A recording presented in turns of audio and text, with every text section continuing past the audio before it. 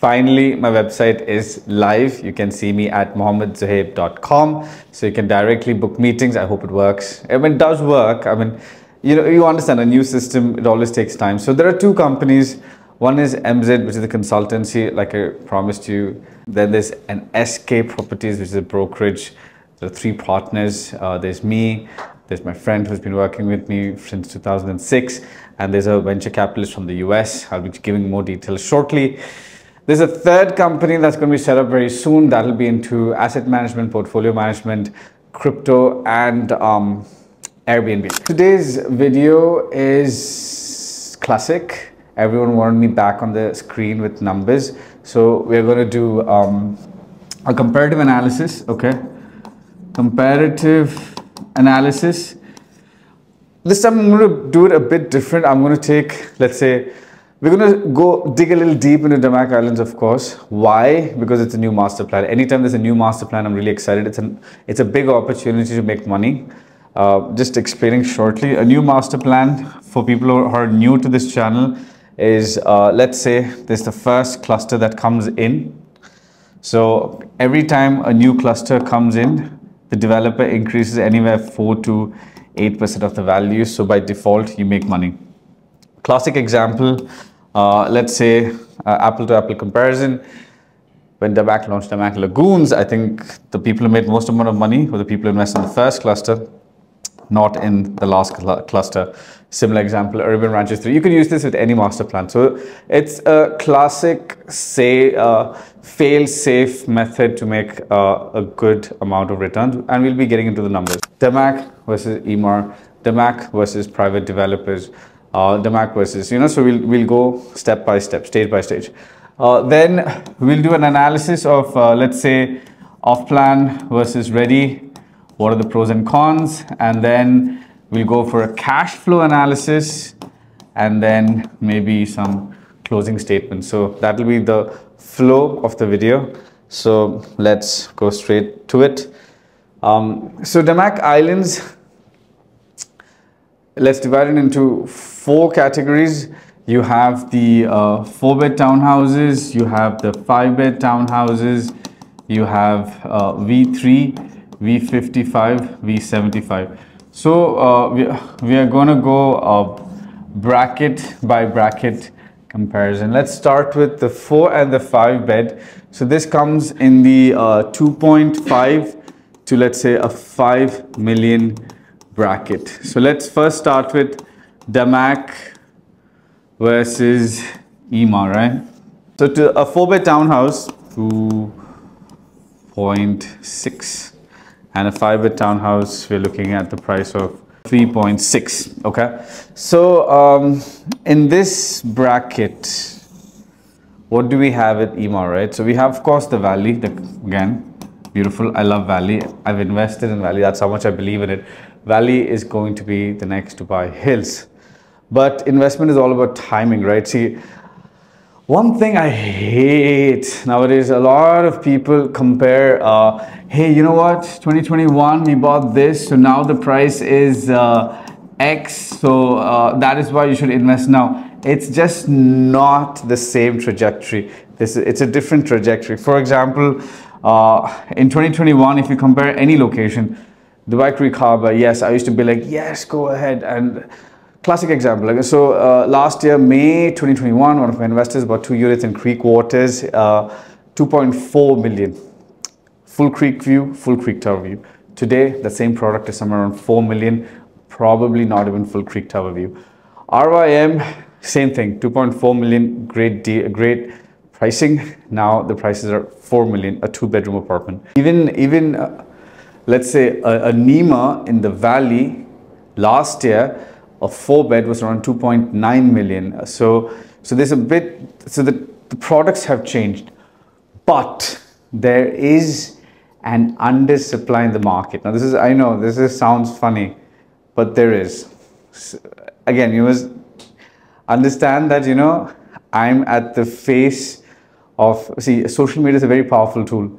So I'm at the face where people from different nationalities, they come in for example, yes, because of the Middle East war situation, I'm, I'm getting a lot of people moving to Dubai and they're like, from the from the Middle Eastern region, right? Lebanon, Syria, Jordan, Iraq, um, and they're like, so most people move their money to Jordan, and from Jordan they move it to Dubai, and they're like, so hey, we need something ready. We need to start income now because our income sources have crashed. We need to start income. So that's a different kind of traffic.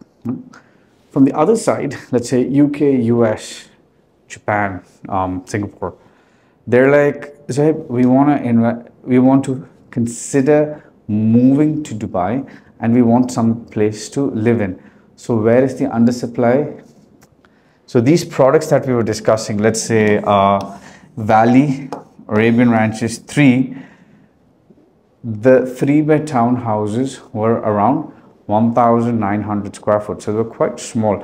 Same thing, I'm, getting, these are just examples. Any community that released in that time, Nshama, La Rosa, um, Mira, any community that you observed that time, they were selling smaller townhouses and the quality of construction wasn't at the standard of the new crowd that is coming to Dubai. For the people who lived in Dubai, then it was fantastic. We were like, oh, this is amazing.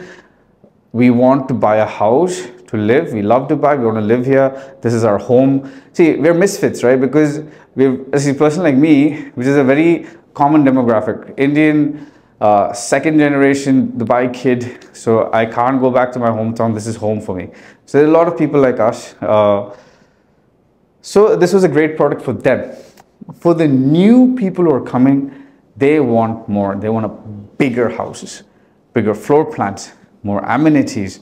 Uh, the finishes should be different. It should be more contemporary, modern, floor to ceiling windows, more lights. So hence there is an undersupply of those products okay so we need to target those products enter the market at the right point at the right point in the trajectory okay so let's get back to uh, so four bed townhouse 2.6 3.6 valley a three bed townhouse uh, is at 2.9 a four bed would be at around 3.6. We can also compare uh, Greenville, which was launched in um, Emaar South. A three bed townhouse was uh, selling at 3.2. A four bed was selling at around 3.8. Okay. Now, another silly thing that people do, you can't just look into the prices. Why is it 2.9? Because Emaar adapted to the market and started building bigger townhouses, which was a very successful product in Dubai Hills, right? There, there were these three bed sidras, independent villas, but it really worked out well. I was found a three bed sidra for one of my clients was willing to pay 50,000 a month for a three bed sidra. Of course, it had a pool, but still 50,000 a month is a lot of money. So uh, these, of course, the sizes have increased. 2,400, 2,400, 2,969, uh, you know, massive, good, good floor plans, all right? And um, over here, again, similar, similar sizes, 2,400, 2,900, uh, similar sizes. So that's with Emaar, right? That's the comparison. Um, if you look at the cash flow, the cash flow is very similar.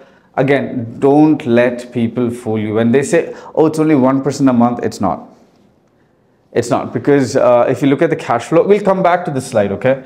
So if you look at the cash flow, Damac, Emaar,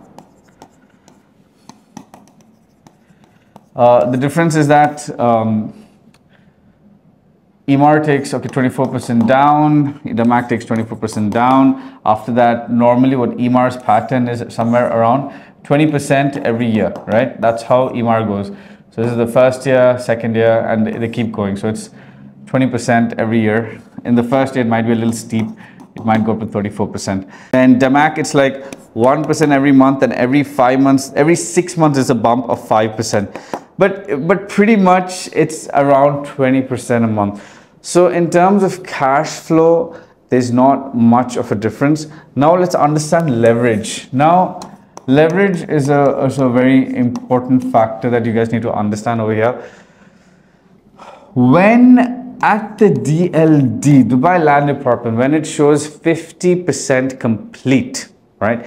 If you are a resident, you are eligible for a mortgage. So based on the market price at that situation.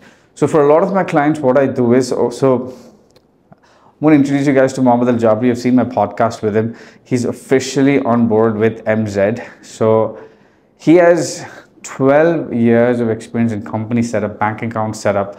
Um, so we exactly know how to set up companies or how to position our clients, how to create statements for our clients uh, in order to give them a position of leverage. So in case you require a 50% DLD we'll, uh, mortgage, we'll during our Zoom sessions when we do schedule a call, we'll explain to you how we can position yourself so that you can avail this. So this is also a very interesting opportunity that we can look into. Now going back to um, going back to this, so we've got DAMAC versus Emaar. Now you see the price difference. A four bed is at 2.6 and a five bed is at 3.6. Now why this is important I want to complete one more explanation and I'll get to this, okay? Uh, in fact, two more explanations. Now, if I, if I compare this with private developers, the Mac, I'm looking at another private developer. So, uh, if you understand, uh, so this is downtown. From downtown, there's a big road called Dubai Al Ain Road, E66. Uh, this is where uh, there's District 1, there's MBR City, uh, District 11. So there are a couple of communities over here and the big Crystal Lagoon. And over here, you've got back-to-back -back communities, right? So uh, there's Elwood, there's Valley. So at this stage, you've got this Dubai Silicon Oasis. Now at the border of Dubai Silicon Oasis, there's a new master plan being developed by Nakheel. So uh, again, it's the same cluster basis. So you've got cluster, cluster, cluster, cluster, cluster. So the first cluster has been launched over here by a private developer called Leos. Again, uh, phenomenal quality, but the prices are quite steep because again, if you compare with the products inside Silicon Oasis, they seem like a, a good deal. So this is um, a master community called Greenwood. You probably wouldn't have heard of it a lot. It's by Nakheel. So over here, the three beds are around 2,700 square foot. The three, the four beds are around 3,200. The four, five beds are around 4,000 the prices are around uh, 2.7 million, 3.2 million. Uh, this is around 4 million. So um, it's important to understand this private as well. Now this, I see, I always prefer larger communities, but then I've had clients who said, okay, no, I want something um, more small. I, I want to focus on ultra luxury, like really good quality villas. So that's an option that I give them but I think brand value holds a big stake. Now, finally, uh, I'm coming to my main point. We're going to compare it with ready stock. Now, if you look at the uh, if you look at the satellite images of um, of where DAMAC Islands is located. So you have Nshama here. There's a road over here. Um, you've got your Arabian Ranches 2 here, Sustainable City. Uh, and uh, here you have Cherrywoods, and beside Sherry Sun City, and beside Sun City is your DAMAC Island. DAMAC uh, Hills 2 is somewhere down the lane over here. So, if I compare it with Cherrywoods. now uh, in Cherrywoods, a 4 bed goes at around 4.2 to 4.6 million. Okay, so now we've got all the numbers. So now we can go back to the first slide. Okay, you have all the numbers. 2.6 million for a four bed townhouse, which looks modern, all amenities, there are water bodies, you know, so. And 3.6, now from every cluster onwards here, there's going to be an increase in price.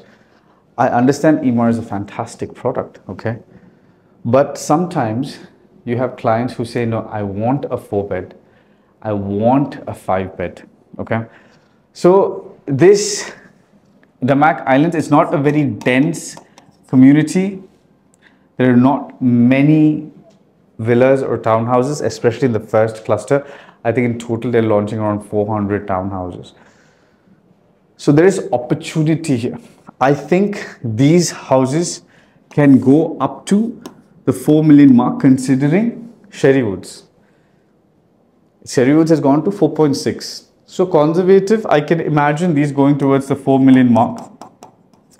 And these potentially can go towards the 4.5 million mark.